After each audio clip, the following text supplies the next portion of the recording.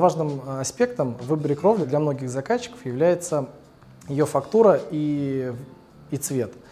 А, в данном случае композитная черепица предлагает э, достаточно широкий выбор э, из семи фактур, которые воспроизводят эстетику э, традиционных природных материалов. А именно это может быть фактура терракотовой кровли. Очень интересный вариант для деревянных домостроений – это срез кедра, фактура шейк. А также очень популярная вообще в России и в Европе – это фактура под керамическую черепицу.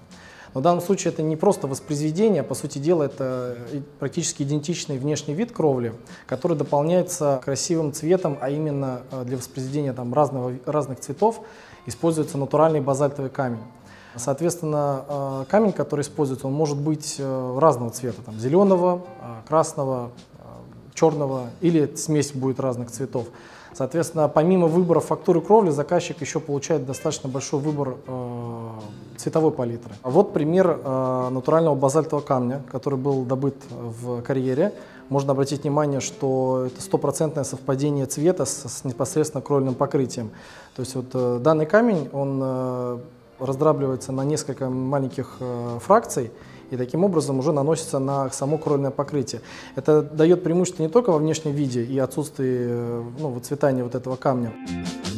По сути дела, композитная черепица имеет в основе э, несколько слоев, поэтому она называется композитная. А, в основе идет стальной лист. А, далее стальной лист с обеих сторон покрывается защитным слоем алюма-цинка. А, аналог можно привести, э, это недорогой вариант оцинковка. Но в данном случае алюма-цинк позволяет э, кровле не ржаветь долгое время, а именно там, более 50 лет. Соответственно, эта кровля защищена от коррозии. Ну, очень многие путают э, композитную черепицу с металлочерепицей. Это не совсем так, потому что помимо стальной основы идет э, так называемая клевая основа, а именно техническое название – это базовый слой. Это тот слой, который удерживает вот этот натуральный камень, о котором мы ранее говорили, от схода. Сам натуральный камень, который посыпается на, на базовый слой, наносится – он запекается. Сверху для дополнительной защиты от ультрафиолета а, наносится так называемая акриловая глазурь, поэтому на солнце а, эта кровля в разных цветах приобретает очень красивый глянцевый оттенок. Помимо длительного срока службы, у композитной кровли есть ряд преимуществ в плане безопасности. Одно из основных преимуществ – это устойчивость композитной черепицы к сильной ветровой нагрузке, а именно ураганному ветру или даже тайфуну, потому что эта кровля присутствует практически во всех э, дальних уголках нашей Земли. Э, можно посмотреть, что особенность крепления композитной черепицы – это и боковой нахлест, и э, такая технология монтажа, когда верхний лист черепицы – подкладывается поверх нижнего листа черепицы. В отличие, к примеру, от металла черепицы, где э, крепление идет перпендикулярно саморезом, э, композитная черепица имеет скрытое крепление в торец. То есть здесь пробивается два листа черепицы и обеспечивается вот эта устойчивость к органу ветру, потому что сильный поток ветра он не может поддеть черепицу. А, к примеру, мы проводили испытания на авиационном полигоне, была установлена демо-кровля, Э, и э, черепица, вот этот демо-домик, он выдержал ураганный ветер э, силой 160 км в час. Э, достаточно много примеров, э, в том числе и в Центральной России, когда прошли сильные ветра, э, кровля осталась в безопасности. Но это не единственное преимущество композитной черепицы. Очень важно является то, что данная кровля она защищает от лавинообразного схода снега за счет вот этого шершавого покрытия кровли. Когда даже при перепаде температуры, когда замерзает, когда подтаивает снег и образуется ледяная корка, данная кровля она практически намертво удерживает вот этот вот слой. Еще дополнительное преимущество в плане безопасности такой технологии крепления и монтажа – это то, что вода во время сильного дождя, поток воды сходит равномерно, и шляпка гвоздя не подвержена дополнительному воздействию воды, как следствие ну, не будет образовываться э, коррозия. Еще одно важное преимущество черепицы – это ее легкий вес. Максимальный вес композитной черепицы 6,6 кг на квадратный метр. Какие преимущества и какие плюсы в плане безопасности это дает? А, во-первых, э, отсутствует дополнительная нагрузка на стропильную систему, то есть ее не нужно усиливать, как э, при аналогии с тяжелой кровлей. Простота монтажа композитной черепицы обусловлена тем, что для монтажа композитной черепицы абсолютно минимальные требования. Нужен стандартный и простой кровельный пирог, который включает в себя пароизоляцию, утеплитель и мембрану, если это теплая кровля.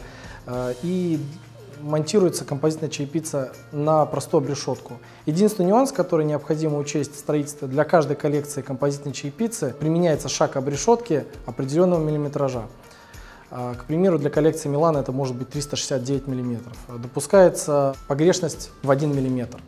Еще одним немаловажным плюсом является то, что для композитной черепицы, помимо внешнего кровельного покрытия, э, коньков, аксессуаров, планок, абсолютно не нужны так называемые подкрольные аксессуары. А именно, это может быть э, аэроэлемент конька, уплотнители, ленты. Э, очень простое объяснение, почему, собственно говоря, композитная черепица так не требовательна к вот этим аксессуарам. А, это а, а, достигается за счет особенностей технологии монтажа, потому что композитная черепица может быть, может загибаться под конек или вдоль хребта кровли.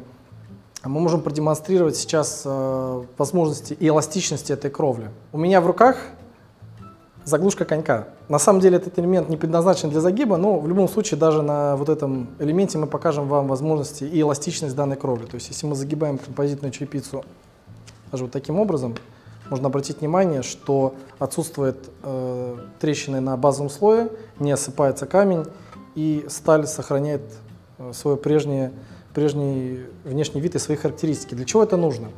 Если представить, что эта заглушка конька является кровельным листом, то э, такой загиб, если это идет примыкание к стене, он, во-первых, препятствует попаданию влаги в торец. И если э, вот этот участок э, накрывается, к примеру, коньком, если это примыкание к хребту кровли, то при установке распорки обеспечивается еще дополнительная вентиляция кровли. А это э, очень большой плюс, и как раз-таки это и есть экономия на вот этих дополнительных, ненужных для композитной черепицы э, аксессуаров. Композитная черепица действительно не самый, пока, по крайней мере, распространенный материал в России. В составе базового слоя, который удерживает э, каменную крошку, есть альгицид, э, который препятствует образованию мха в течение 10-15 лет. Этот срок может быть меньше в зависимости от агрессивности климата. Как правило, в России даже может быть и дольше 15 лет. А в данном случае стоит отметить, что заявленный производителем срок службы 50 лет, и, казалось бы, логичный вопрос, а что будет дальше? Мох действительно может э, э, расти на черепице, но э, она крайне э, нетребовательна к уходу. Достаточно промыть черепицу слабым напором воды, э, чтобы очистить ее от мха. А в случае с композитной черепицей за счет большей площади листа э, достаточно мало места, куда мох может прорасти и повредить э, стропильную систему. Мы глубоко убеждены, что не бывает идеального материала, но тем не менее композитная черепица имеет э, большой ряд преимуществ в сравнении с э, популярными в России кровельными покрытиями, а именно металлочерепица. Композитная черепица за счет э, покрытия натуральным камнем э, не выцветает, тогда как металлочерепица в большинстве случаев это это крашеный металл. Действительно, может быть разного качества, и срок выцветания может быть э, чуть дольше э, одного производителя металлочепицы или другого. А также э, композитная чепица бесшумная, то есть можно опять же привести аналогию с тем, что металлочепица может быть шумной во время дождя. Композитная чепица, гибкая чепица имеет ряд схожих характеристик обе, э, оба кровельных покрытия бесшумные. И также достаточно невысокий риск э, схода снега на мягкой кровле. Но кардинально их отличает э, структура материала. Если мягкая черепица это по сути дела битум, тогда как композитная черепица за счет стальной основы, она более жесткая, более надежная. И композитная черепица не требует для монтажа OSB плиты и подкладочного ковра, что на самом деле достаточно сильно удорожает стоимость мягкой черепицы, просто потому что без э, вот этих материалов вы ее не сможете смонтировать. Соответственно, э, приобретая композитную черепицу, вы понимаете, что вы инвестируете исключительно в качественное кровельное покрытие без э, лишних аксессуаров. Внешний вид для многих заказчиков является крайне важным аспектом. Если говорить про мягкую черепицу, она имеет интересный 3D рисунок, но тем не менее это все равно остается плоский профиль. А в случае с композитной черепицей можно обратить внимание, что фактура многообразная. То есть э, даже для тех заказчиков, которым нравится плоский профиль, у нас все равно есть э, фактурный э, плоский дизайн, э, то есть это деревянная дранка. На самом деле, если немного погрузиться в историю кровельных материалов, по сути дела, мягкая кровля – это эстетика деревянной дранки, тогда как композитная чайпица внешний вид деревянной дранки воспроизводит практически идентично. И можно привести пример, достаточно большой регион в Польше, в горной местности, э, город Закопаны, э, использует для своих домов Э, композитную чаепицу. Есть смысл сравнить композитную чаепицу сразу и с цементно-песчаной, и с керамической чаепицей, потому что, по сути дела, цементно-песчаная чаепица – это воспроизведение, имитация керамической чаепицы. Керамическая чаепица в своей основе – это, по сути дела, традиционный глиняный материал, очень интересный. Ну, во многих случаях не всегда практичный в суровом климате России, потому что он сильно подвержен появлению трещин. А в случае с цементно-песчаной черепицей, э, возвращаясь к тому, что для композитной черепицы используется только натуральный камень, цементно-песчаная черепица – это по сути, крашеный материал. Если у глиняной черепицы и э, композитной черепицы э, практически отсутствует э, выцветание покрытия, то есть самой глины или, или натурального камня, то цементно-песчаная черепица подвержена выцветанию э, покрытия. Композитная черепица идеально подходит э, для реконструкции кровли не только потому, что это легкий вес материала и нагрузка на вашу существующую стропильную систему будет незначительная, но также есть э, много случаев, когда э, композитную черепицу можно смонтировать поверх существующего кровельного покрытия, к примеру, если мы возьмем мягкую кровлю. То есть Последовательность э, следующая. Очищается старое кровельное покрытие, монтируется поверх гидролизационная мембрана, обрешетка и монтируется уже сверху непосредственно композитная кровля. Внешний вид домов э, достаточно сильно преображается. В данном случае экспертное заключение должен сделать кровельщик э, непосредственно на вашем объекте, потому что очень зачастую заказчики меняют кровельное покрытие не потому, что они хотят поменять внешний вид своей кровли, а потому что с ней что-то случилось.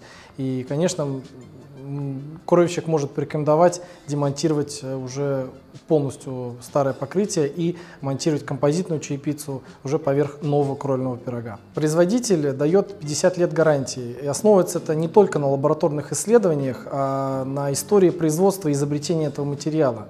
Фактически материал был придуман в 1957 году.